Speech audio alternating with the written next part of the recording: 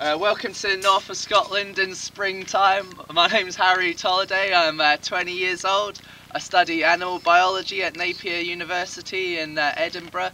And uh, like most young people my age, I was brought up watching uh, Blue Peter from a young age. And uh, I really enjoyed it when I was young. And I view it's become more of an institution rather than a TV program these days. And I'd be very honoured to be part of that. So uh, thank you very much for giving me the opportunity to apply, and I hope you enjoy what I've got to offer. Thank you. I've done a lot of work with children. I've done uh, surf coaching with children in New Zealand. I've done uh, football coaching with children at Ross County, a local football team here. I've done uh, a lot of swim coaching with children.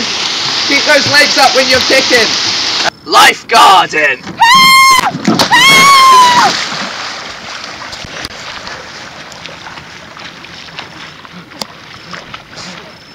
Some of my hobbies include cricket, football,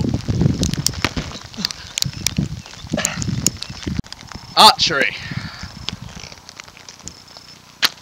oh yeah,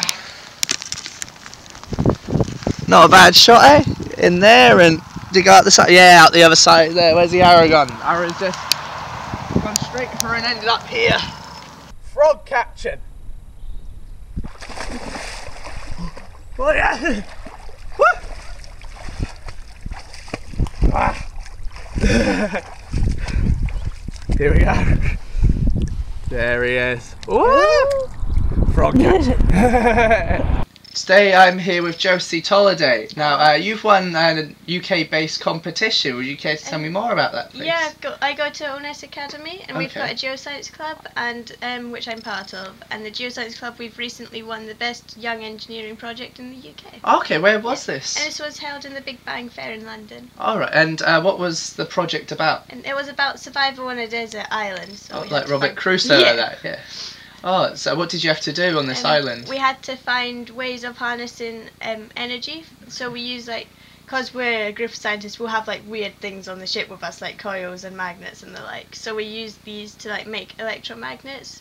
And we've found ways of harnessing the electricity from the waves and the wind. Using wave and wind power. Yeah. And what did you do for the likes of food and water? Um, for the likes of water, we found um, how to harness iodine from a certain type of seaweed. Okay. So we use that, and we use the iodine to purify the seawater. The seawater, yes. Yeah, to make it drinkable and for food we'd be like there's all the sea creatures surrounding the island. Oh, so you're like on a coral reef. Yeah. Like, okay, I get you. Yeah. And uh, what did you do for shelter? Um, we just used like the um, palm trees which would be on the island. We used the leaves and the strong vines, and we um, found ways to like make structures which would hold.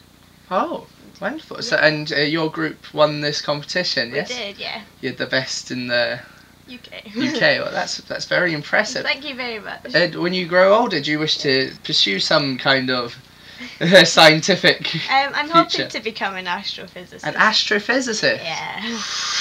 That's very impressive. Big undertaking. yeah, big undertaking.